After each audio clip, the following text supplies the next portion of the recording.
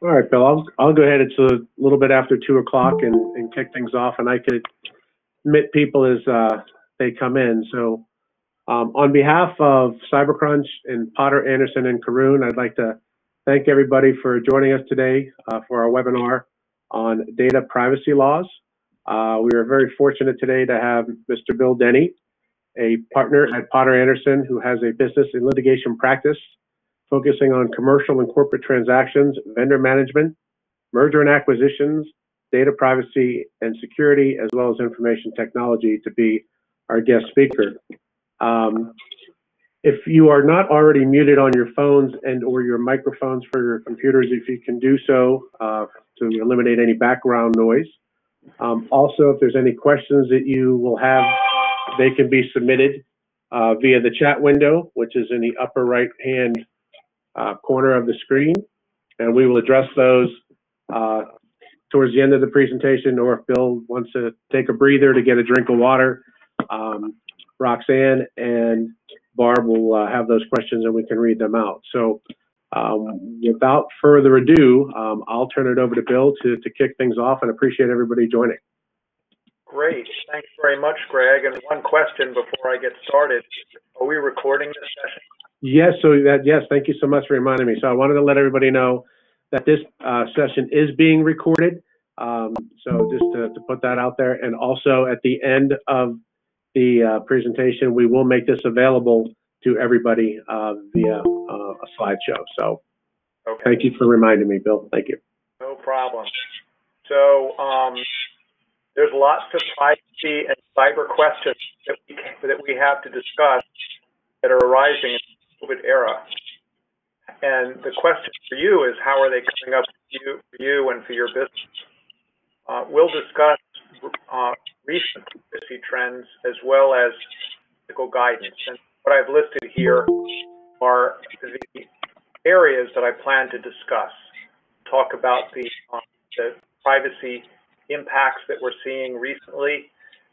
We'll talk about some of the comprehensive privacy laws that have been passed or updated this year. Also, what are the general data security requirements that your business has? What laws are changing?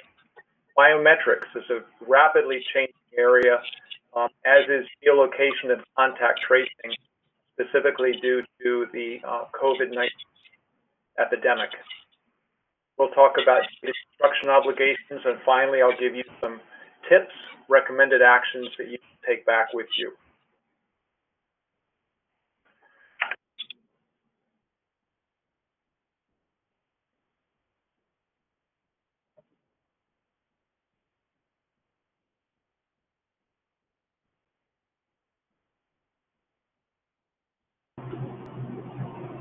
Bill, are you there?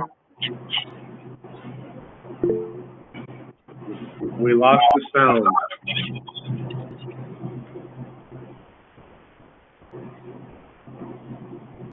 Still can't hear you, Bill. Okay, how's that? There you go. That's better. Yep. Um, I, I got this odd automatic muting, but if it happens again, I know what to do. Okay. Okay, so there have been serious privacy impacts happening recently, some due to COVID, some due to um, our modern electronic age. Um, in this age, we're all carrying cell phones and we all can be tracked. And every piece of data about us creates evidence. It's a fragment and can be and can be a significant risk to our security. One example of this is the online fitness tracker Strava. Uh, Strava is a San Francisco-based company that provides an app. It uses a mobile phone's GPS to track a subscriber's exercise activity. It uses data that it collects as well as collects from uh, Fitbit and Jawbone and other apps for uh, individuals to check their performance and compare it with others. What happened was it was discovered um, through looking at the heat map created by Strava that you could zero in on military bases in secure locations and identify specific activities of, of troops and soldiers, where they commonly exercise, uh, where they patrol. This was a significant security risk. And the picture you see here is the uh, General Communication Headquarters um, of the United Kingdom, uh, which is highly secure. It's like the U.S. CIA or the um, or the NSA, and you can see um, superimposed on a Google map, heat map showing exactly where people are going. Uh, the high, the um, brighter activity indicates level of activity, intensity of use. So um, this was discovered. It's, it's a huge security risk. And the bigger worry is whether Strava's activity data could be used to identify interesting individuals and track them to other sensitive or secretive locations. Another recent event, which was uh, very tragic, was uh, relating to Judge Esther Salas, who is a U.S. District Judge in New Jersey, a, um, a disturbed, struggling lawyer armed with a gun, researched her and found her private, personal um, home address, went there and, and uh, wanting to attack her, killed her son, and severely wounded her husband.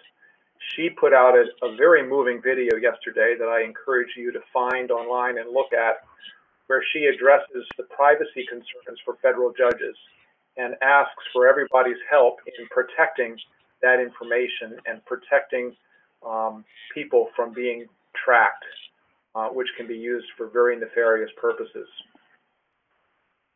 The um, Twitter hack that happened recently within the last month is the worst hack in Twitter's history. And it happened when a teenager, a Florida teenager, convinced a Twitter employee on the phone that he was a coworker.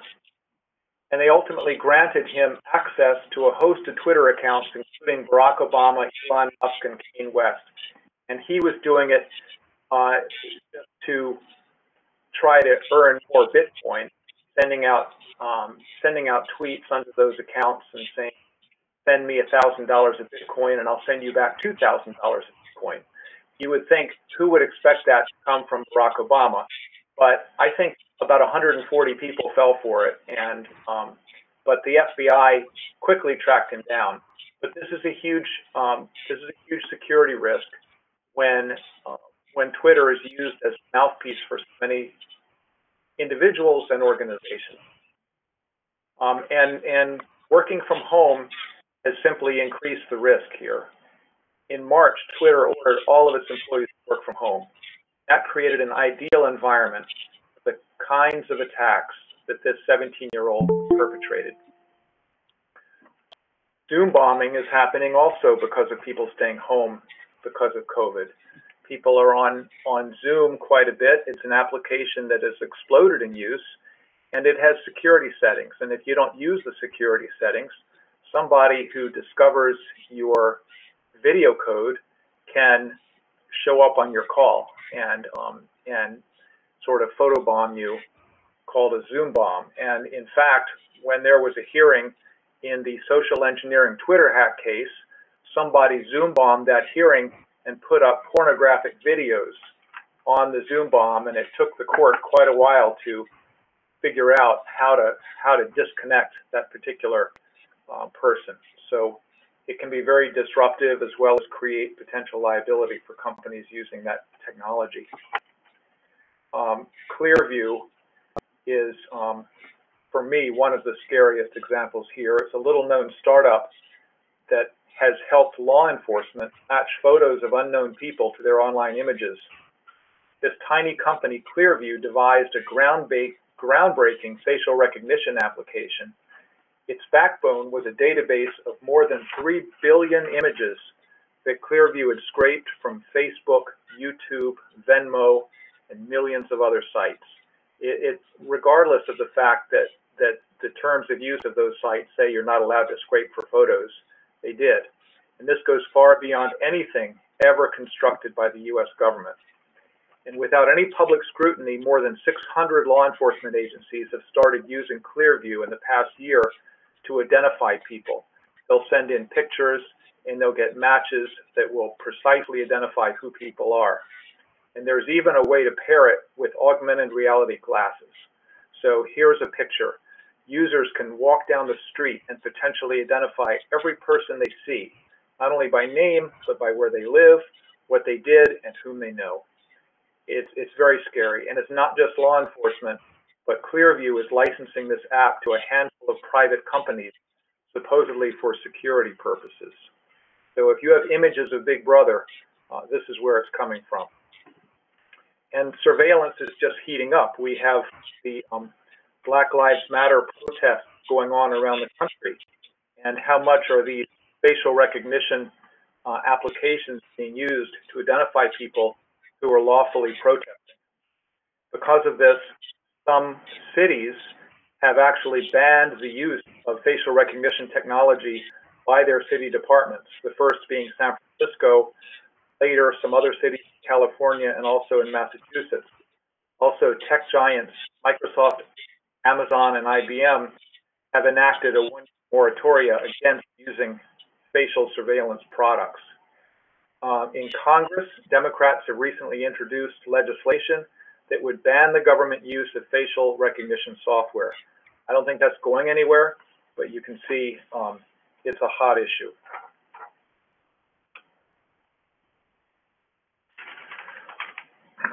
Twenty twenty has been a um, busy year so far for legislative developments in cybersecurity and privacy. The most anticipated event uh, was the deadline for companies to comply with the California Consumer um, Privacy Act, the CCPA, uh, which went into effect on uh, January the 1st of this year. We've seen a lot of thorny data collection issues prompted by this pandemic. And on top of that, we've witnessed the demise of Privacy Shield, which is a popular transatlantic data transfer mechanism. This is very important to many thousands of companies that do international business and need to get data from, from European countries. The coronavirus pandemic has stalled momentum, both on the state level and federal level, to put more restrictions on how companies use and sell personal information. It shut down legislatures and it's diverted attention away from those issues. And one example of that is Washington State, which was poised to follow California's lead and uh, put on the books a comprehensive consumer privacy law similar to the Europeans' GDPR. It had passed a year ago one house of the legislature in Washington, and this year, um, for the second year in a row, it failed to get approval before the legislature adjourned. Uh, the disagreement being whether there should be a private right of action under the law. So I'll talk about some of the laws here on this list. Um, as, and, and these are these are mostly privacy related and some security related laws. So what is the CCPA and why is it such a big deal? CCPA is the first law in the U.S. to give consumers the ability to find out what data companies hold about them and have this information deleted and opt out of the sale of this data. It's broadly applicable to businesses regardless of their location that collect or control personal information about California residents. Um, there is a threshold requirement, so very small businesses may not be subject to it. However, um, with, with similar laws being enacted in other states, it has effectively become a floor for data rights across the country. Businesses are struggling with complying with this new law, even though they've had since July of 2018 to get into compliance. There's lots of questions about how it applies. It's very poorly written, and the corrections made by the legislature in the in the succeeding in the succeeding two years have only corrected uh, very um, few of the problems. The state's attorney general has sought to address many of these issues through regulations.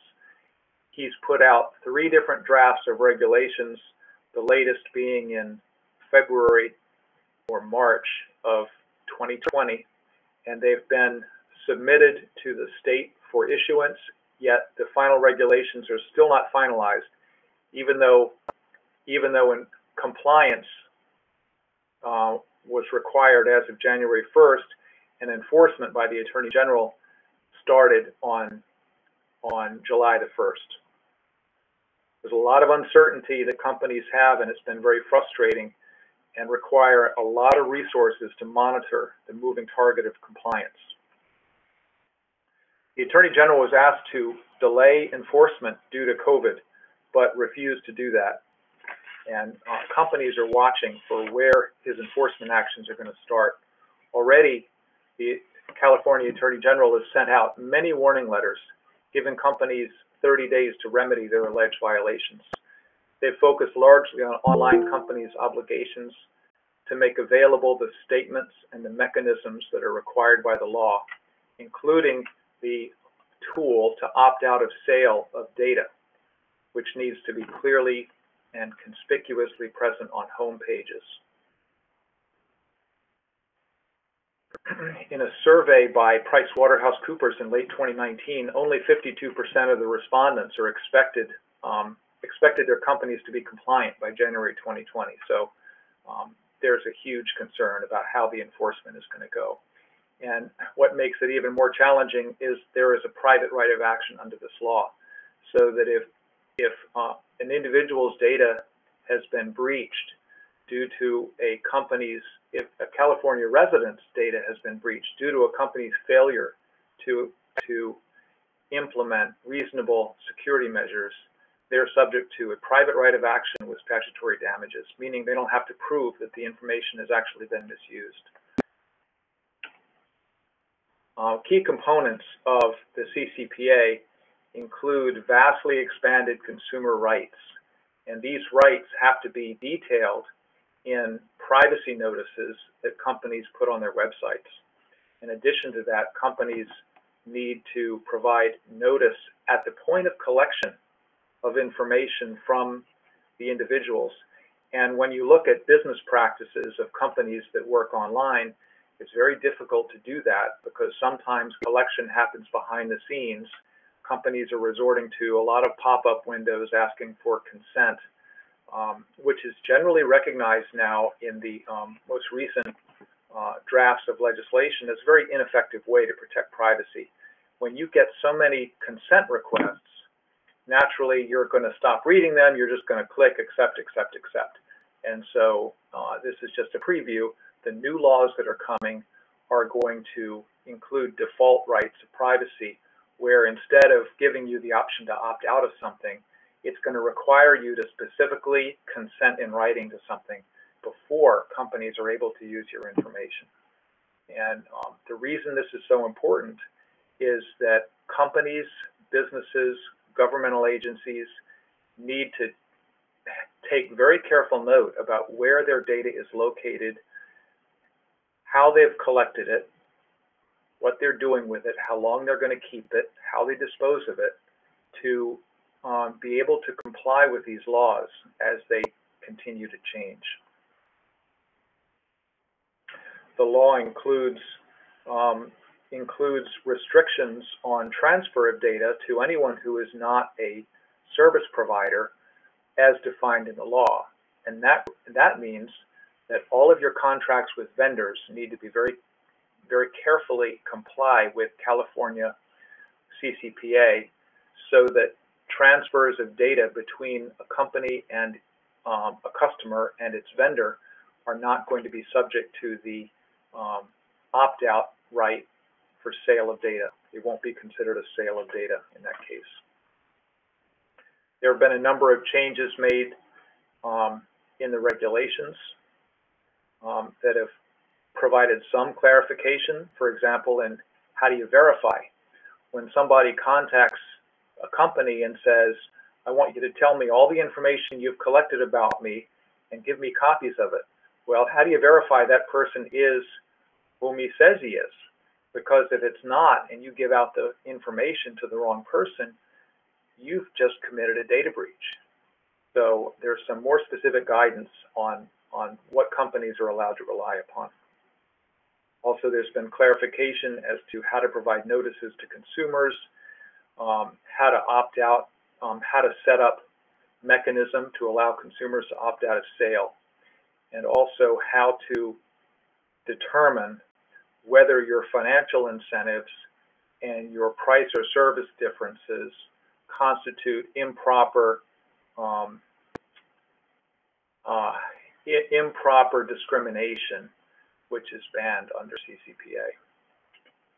As if CCPA weren't enough, uh, now we have, also coming from California, the California Privacy Rights Act, the CPRA, and this is a ballot initiative uh, which which has been started by Alastair Mactaggart, who is the same person who started CCPA.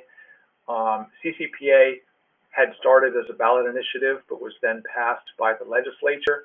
Um, they were terrified that a law would be passed that they wouldn't be able to amend. That's the problem with ballot initiatives. They can only be changed by another ballot initiative. So um, Mactaggart decided that the CP, CCPA had been watered down too much, and he wanted to have um, um, stronger privacy laws in California. And so he got enough signatures to get it on the ballot for November 2020. If it passes, and by the way, it's currently polling at about 80% favorable by the California residents, and I guarantee you 99% of them have not read it. Uh, they are going to pass it, and it's going to replace and expand CCPA. So companies that have spent millions on coming into CCPA compliance, it's not wasted because they'll still have to comply with all of those regulations, but there will be new protections put on top of that.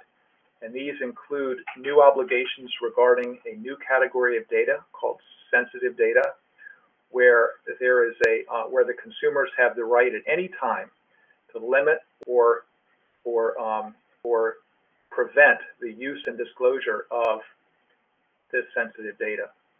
Also, there are limitations to sharing of personal information for behavioral advertising, including tracking-based advertising.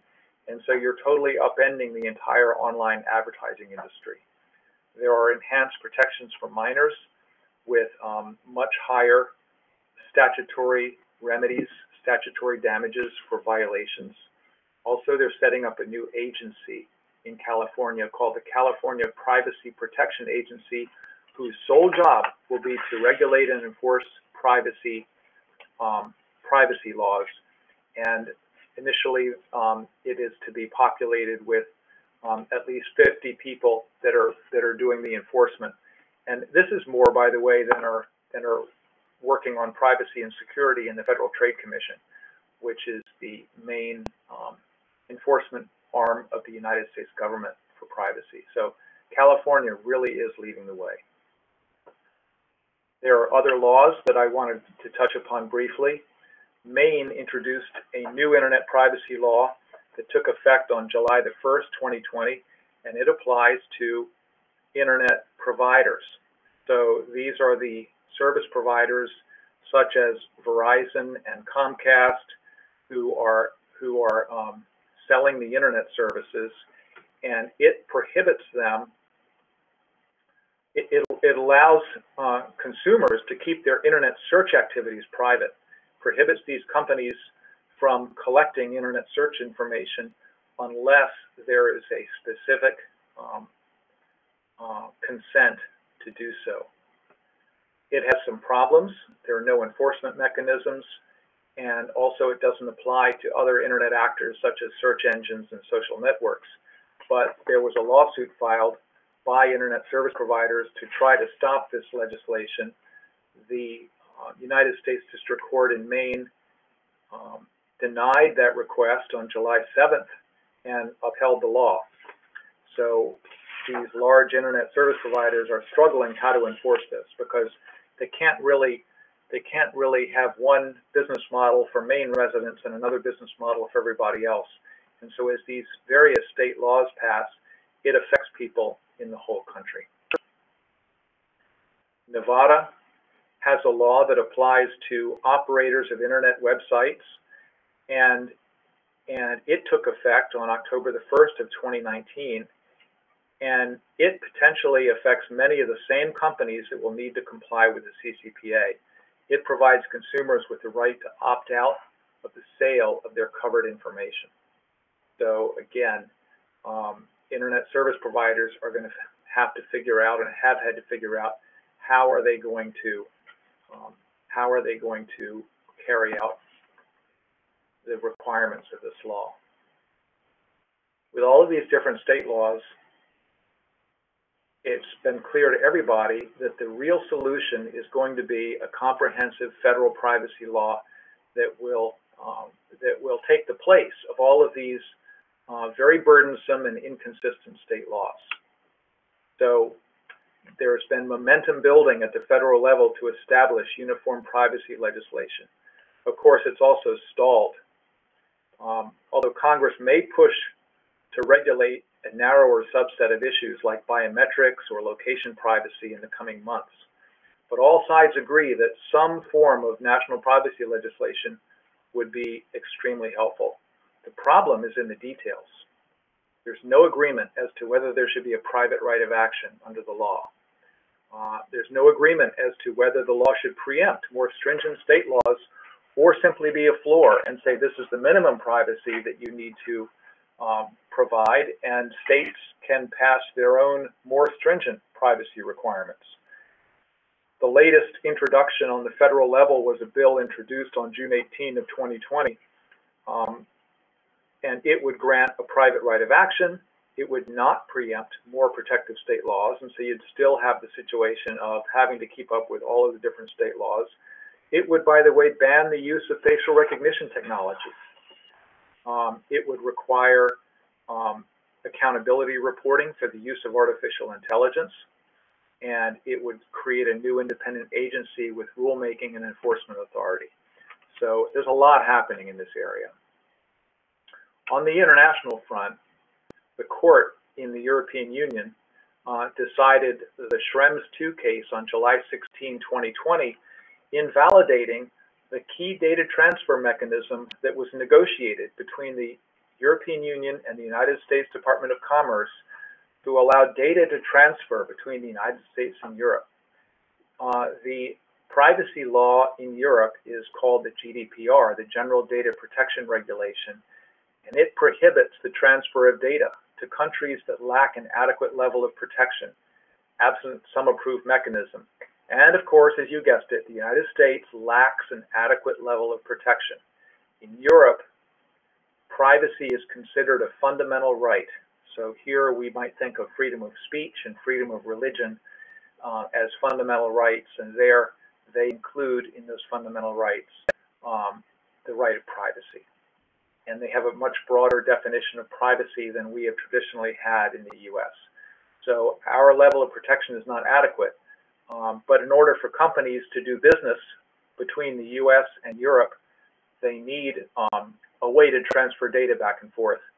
Um, uh, with this main uh, data shield mechanism invalidated, companies are having to fall back on the current backup method, which is a set of clauses called standard contractual clauses that cannot be uh, they cannot be altered or, or amended in any way. And it's much more than simply slapping the clauses on the back of a contract. Um, there is an additional burden now under the Schrems ruling, ruling um, that companies must think carefully about where the transferred data is going and what protections are in place to prevent U.S. intelligence officials and other third parties from accessing it. That was the main reason Privacy Shield got shot down, because the European Union's top court did not want the data of European citizens being available to U.S. intelligence agencies. Moving from privacy to the closely related area of data security, at least 25 states have enacted specific data security laws that, um, that generally obligate businesses to maintain reasonable security measures without providing a clear definition of what are reasonable security measures. So companies need to look to evaluate their existing security procedures and policies to make sure that they're complying with this law. Delaware is one that, as part of its data breach law, has a provision that requires companies to maintain reasonable security measures. Some states go into more detail about what security measures are required. For example, in 2010, Massachusetts was the first to set forth more specific cybersecurity requirements for businesses that maintain electronic data on any resident of Massachusetts.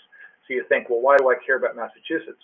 Well, if your database contains the, the data of one Massachusetts resident, then you're subject to this law. And that's the same reason why companies are subject to the CCPA and many other state laws, because people do business, companies do business outside of their region. And there are people that travel between regions. And so a company, even inadvertently, could easily have the data of individuals that are located in many different states. Um, there's a lot of wiggle room in the Massachusetts law about about whether a particular uh, security requirement is technically feasible. And Massachusetts, eh, even though it could apply to many companies, is not really the focus of many companies. But more specific data security laws have been passed now in other states. And most specifically, or most significantly, I would say the New York SHIELD Act is one. SHIELD stands for Stop Hacks and Improve Electronic Data Security. So SHIELD is a lot easier to remember than that. Um, it has a lot of detailed requirements about data security that apply to a much broader set of companies. It applies to any business that owns or licenses computerized data that includes the private data of a New York resident. So how many people have the data of a New York resident in their database? The data breach portion took effect in October of 2019 and the data security portion took effect in March of 2020. Um, under the data breach portion, there's a much broader definition of data breach. Um, there's a broader definition of private information, and there are specific deadlines as to how quickly notice needs to go to data subjects in the event of a breach. And there's a requirement that the um, that the state attorney general in New York is notified of a breach involving involving um, data subjects in New York with significant financial penalties for failure within the time period to provide that notice. Um, the data security portion that took effect in March 21 of 2020 is, is very useful to look at closely because it requires businesses to have a security program and as many laws say, it says you've got to have proper administrative, technical, and physical safeguards um, of your data. But it gives specific examples of what are reasonable practices. Um, and so, for example, administrative safeguards would include designating an employee to coordinate a security program, conducting a risk assessment, reviewing existing security measures, Reasonable technical safeguards would include an assessment of the risks of the network and software design, risks in information handling, and the establishment of systems to detect, prevent, and respond to attacks or system failures. And physical safeguards would include assessing the risk of information storage and disposal. Is, is your information that you no longer need being uh, disposed of or destroyed in a um, in a secure, safe, and secure manner. Um, and the risks of detecting, preventing, and respond to intrusions, making sure your doors are locked, uh, guarding against unauthorized access to private information, and disposing of information within a reasonable amount of time. Now, how much harder is this when your workforce is now working from home uh, during the COVID crisis, and you don't have control of the physical um, perimeter of your workers, uh, they're in their home environment. And not only that, they may not be using company issued devices. They may be using personal devices. Um, this has dramatically increased the attack profile of companies um, and is requiring additional risk assessment and additional policies to be put in place and additional training of users. Users who are who are fearful of of COVID-19 are fearful of what's happening to them financially, are fearful of the future, are getting very um, specifically directed phishing emails that are offering information. Here's how to get your stimulus check from the government. Uh, fill out this form to get your stimulus check deposited directly into your account. Um, here's what you need to know about COVID infections. And these emails are coming in with um, with malicious links and malicious uh, programs. They're being downloaded. Could be ransomware. There's been a huge increase in ransomware attacks. So um, all of these safeguards are requiring that the companies do a lot of additional work now um, as a result of people working from home. The, um, the New York Shield Act is interesting in that it requires an annual certification of compliance from the board of directors. And if the and if the certification is is made falsely, uh, potential criminal penalties for members of the board. This is going to get their attention. So the legislature is ramping up the incentives for companies to comply with these laws. Biometrics, as we've talked about several times, is a really hot area um, because of facial recognition technology. Um, Illinois was the first to pass biometric legislation in in 20, 2008, and it's still the um, the most significant law that's been passed because it requires that individuals um, be notified um, that their biometric information is being collected or stored and the purpose of the collection and that the individuals provide a written release um, to collect that information. And the written release has to be received by the company in advance. And not only is this very difficult to fulfill, the law allows a private right of action.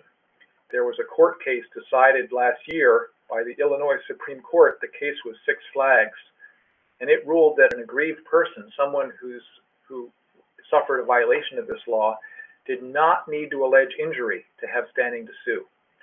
So that all they have to do is show that the um, that the law has been violated, and they're entitled to a private right of action with statutory damages. And this is huge, and there's been a flood of class action lawsuits being brought in Illinois. There are other states that have um, introduced um, laws governing uh, collection of biometric information. Texas and Washington, not notably. Many other states have tried and failed so far. Um, and biometrics is mentioned in a number of different laws that are not specifically targeted to biometrics meaning that the law that biometric data is included within the definition of private information or personal information in various laws. So I told you a little bit about what's in the Illinois law. Texas law requires in, in, informed consent also, but uh, does not have a private cause of action, and it limits the sale or disclosure of biometric identifiers.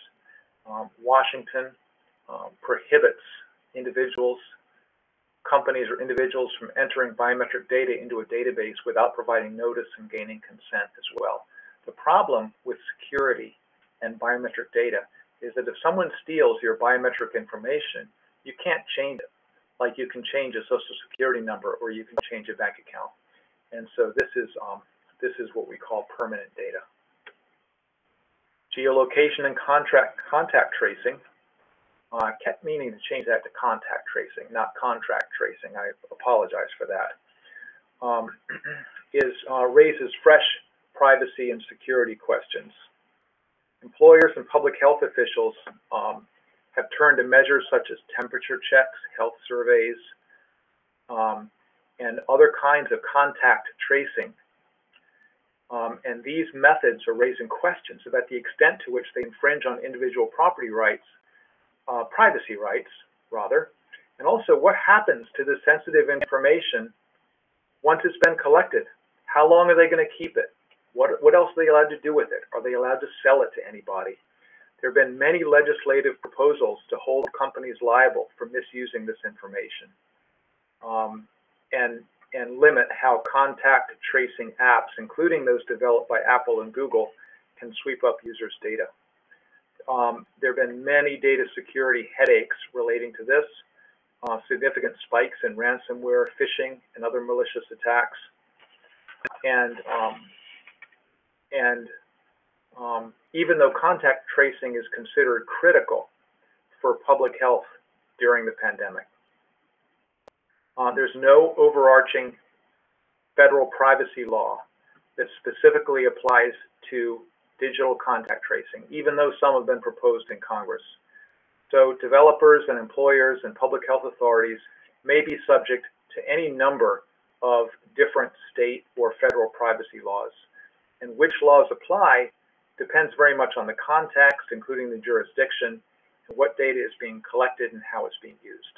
So an example, of course, is the um, Illinois um, Biometric Information Privacy Act, um, because a lot of the data that contact tracing collects may be biometric data.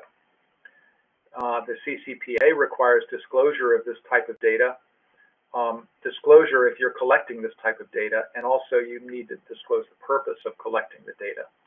Um, the health, um, the health privacy law, HIPAA, um, creates potential legal claims um, if a covered entity, meaning a hospital or a doctor's office or any business associate doing business with those companies, collects data without proper disclosures and or misuses that data.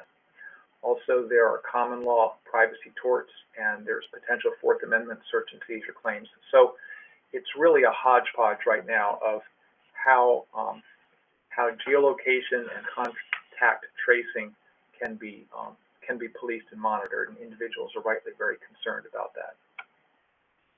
Um, we've talked a few times about destruction.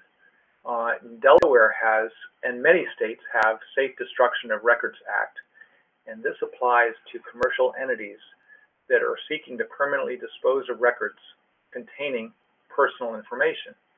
And these and this applies to both paper records and electronic records companies are required to take reasonable steps to destroy or arrange for the destruction of the records by shredding, erasing, or otherwise destroying or modifying uh, personal information to make it unreadable or indecipherable. And this goes back to a key risk that we're facing these days, and that is the massive proliferation of information that's being collected. And the laws are focusing on why, why information is being collected, how it's being used, and how long it's kept. So it's very important um, that companies and, and governmental entities look at what information you're collecting and why are you collecting it, how long you're keeping it, and how you're disposing of it. Even if you dispose of devices that are part of your um, your network, is there information on those devices um, that goes goes out with it when you throw away the device? So all of this um, goes back to making sure you track your data and you know where your data is located. Um, there are um, and there are private rights of action for violation of this. Some of some of these key considerations I've touched on that you should consider, and that is what data um, are you generating in your business, and where is it flowing? Um, do you have necessary consents to collect that data? Are you collecting data that fall within certain sensitive data categories where different rules apply? And in how you're using the data, can it be de-identified? Can it be anonymized or pseudonymized in a way that protects the identity of individuals and possibly cannot be reconnected to an individual later? What are you doing with the data? What rights do you have in it? And what happens to the data at the end of the relationship? A lot of this involves vendor management where companies, especially with the amount of outsourcing taking place and with remote working, uh, there's an increased reliance on vendors to provide um, to provide necessary services and have access to data. So it's important to look in the vendor agreement to see how the vendors are obligated to protect information that they receive from the customers do they are they limited to using it solely for that customer's benefit, or can they separately monetize that data? If the vendor anonymizes the data, can they turn around and sell it to others? And there are a lot of concerns. Um, how can you be sure that the data is destroyed or returned at the end of the relationship?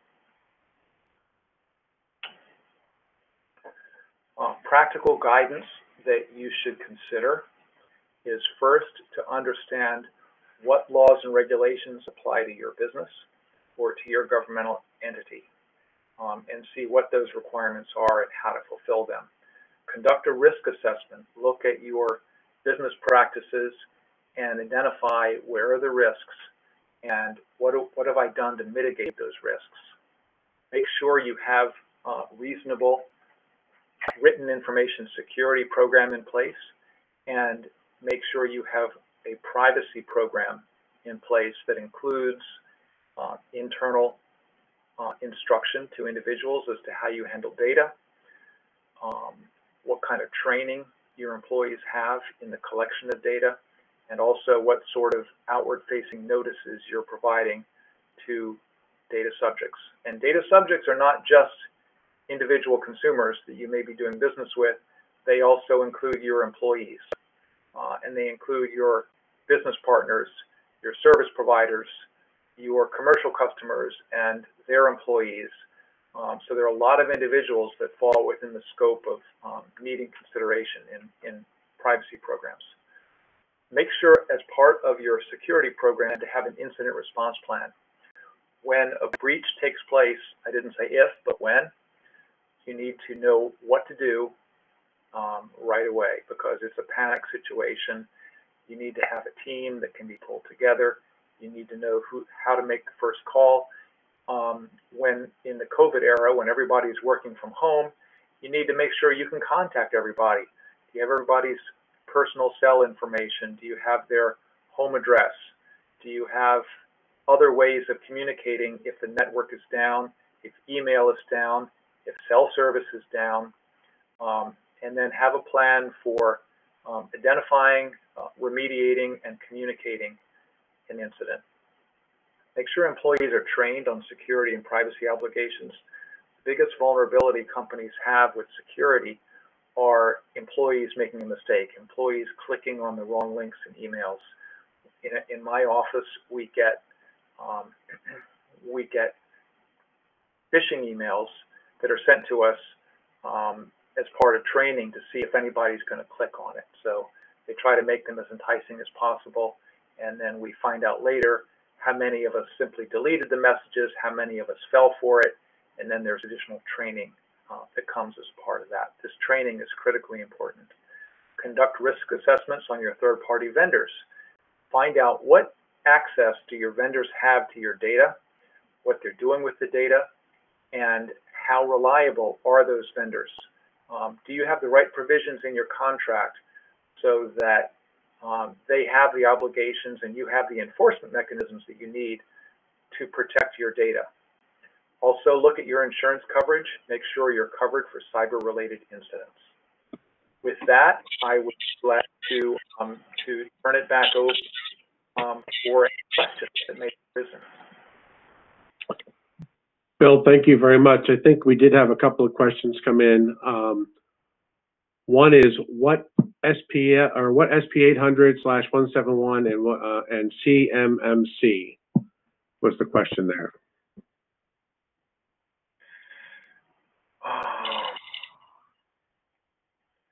CMMC, um, I'm remembering what that is, so I can't. I'll, I'll have to look get back to you. Okay, we can take that as an action item to get back with people, and then also, um, I think Robert had put something there. It says ruling 3.1.9 and 171 add AC dot 2005 and CMMC. I don't know what he was referring to. CM, CMMC is a DoD new news privacy regulation, is what he said. That's it. That's it. It, it has to do with it has to do with uh, De- Department of Defense um, requirements that apply to service providers that um, enter into contract with Department of Defense. Very good guidance as to uh, what sort of policy provisions you should have in place, um, but not binding except if you're in that relationship with Department of Defense. Okay. That's what we had so far. So uh, what I'd like to do is just to take a couple of minutes. We have a, a few minutes left. If you can go to the slide, just kind of give everybody an overview of of CyberCrunch and who we are. And again, thank you everybody for joining. And uh, perfect segue as Bill was, uh, you know, talking about making sure you know who you're doing work with from a vendor's perspective. Uh, CyberCrunch was founded in 2012. Uh, we have a headquartered in Green, or headquartered in Greensburg, Pennsylvania. Also, we have an office in Aston, PA. Um, and we do a lot of business with all the vertical markets from healthcare to finance to uh, retail and manufacturing. And talking about all the compliances and, and laws and that we need to follow by is, you know, we are HIPAA, GDPR, um, FERPA, GLBA compliances, and also we are R2 certified and NAID certified. And what NAID certified means to, to you is that we are audited on a regular basis, um, making sure that we are doing things correctly um, and keeping us up to par, and uh, again, making sure that we are compliant uh, when taking care of anybody's data. Um, and I'll let you uh, go over to the next slide, Bill. And the problems and issues that we solve for customers is e-waste. So we take anything pretty much with a plug uh, that's decommissioned, uh, laptops, desktops, servers, cell phones, iPads, uh, printers, and we take that uh, to our facility. We pick that up and we then recycle that. And then anything from a data destruction side, uh, when it comes to hard drives that do need to be shredded, um, um, swiped, uh, whatever whatever the compliance your company calls for, uh, we follow those uh, we follow those instructions and compliances. And when that's all said and done, we provide you with a we call a COR, certificate of recycling, and a certificate of destruction if we need to do any of the destruction on the hard drives. Um, and we will definitely send some information out, uh, you know, regarding CyberCrunch and our um, service offerings that we offer. Um, also, if you can, I think that's this slide. If you go to the next slide, Bill. Uh, and I just mentioned this as to what we destroy, you know, anything with a with a plug from hard drives, uh, other storage devices, cell phones, tablets, pin pad uh, when it comes to POS systems in retail, um, circuit memory boards, uh, anything along those lines. Also, from a destruction types, I was mentioning the hard drives. We can shred them, pulverize them, degauss them. Department of Defense uh, swiping uh, and or secure transport. So again, whatever your company is requiring, uh, we can abide by those uh, by those rules and regulations as Bill was touching on before in his presentation, and make sure that we follow the guidelines uh, again to to do it correctly for your business and what you guys uh, call for. Um, I think that's the last slide, Bill, if I'm not mistaken. I think the next one's going to have our contact information. Um, and again, we will share this presentation and I'll shoot an email out to everyone that'll have uh, myself and Al's contact on there as well as Bill's and also follow up with a copy of the presentation and some more detailed information on CyberCrunch and how we maybe uh, might be able to help your business, um, again, with your um, recycling as well as your data destruction needs. So uh, I don't know if there's any other questions that you guys have out there. Um, and I'll, I'll, look at the chat window with regards to the CyberCrunch piece. Uh, I didn't see any other questions, Bill, on uh, on your side coming through. But again, this is recorded and uh, Greg, I've got, yeah, go ahead. Greg. Um, how, how has your company been affected by, um, by the stay-at-home orders and by the, um, and by the remote work uh, during the COVID? So yes, I mean that's a great question. Uh, you know, we're all working remotely. Um, you know, we are slowly starting to see some of the businesses open up for for meetings. Uh, definitely with the social distancing. But again, uh, I am working remote. Uh, Al works remote. Um, but you know, we got to follow the uh, the guidelines of the CDC, and you know, we got to wear a mask. We got to do the social distancing. A lot of our meetings are being done like we're doing today, right now, via webinar. Um, and like I said, there are some companies uh, that are again still all work from home. Uh, I was watching the news last week or a few weeks ago, or even longer than that, and they were talking that in downtown Pittsburgh, I'd say over 50% of the buildings um, currently were vacant at that time because nobody was coming in and traffic going into town. So you're seeing it out there, but I think you're also start starting to slowly see people go back, maybe a couple of days a week. If they're not going back full time, I really see I really see this uh, going to remote, you know, working from home or working remotely. And uh, in, in, my opinion, you got to be dedicated. And I think sometimes you see more, um, more people doing more work because you're, you know, you're not commuting back and forth for an hour or two. And uh, I think people are getting, uh, more people are getting stuff done from home than, than going into an office. So. Yeah. So, so I've got another question. I was looking at the NIST guidelines regarding um, data destruction and sometimes there's a requirement when it, when information is shredded, um, of the particle size of the, uh, of the resulting, um, shred. And, and apparently for different types of technology, the particle size has to be very small to avoid the possibility that data could be recovered from it. Have you, have you seen that as an issue and, and have you, um, have you dealt with that? I have not. I'll, Al, have you, any of that? I'll, I'll open it up to you for that question, Al, if you want to. Um, is, there is different levels of shred. There is, you know, you could go half inch, quarter inch, whatever. I mean, we haven't ran into anything that where somebody can actually get paid off that or to the shredded. I mean, there's different levels of shredding that we can do. It depends on what the company's looking for. But, um, we do it, we, our average is, uh, half inch is most of the time.